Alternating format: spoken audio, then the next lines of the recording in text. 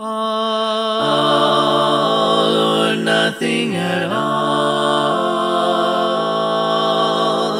Half a love never appealed to me. And if your heart never could yield to me, then I'd rather have nothing, have nothing at all.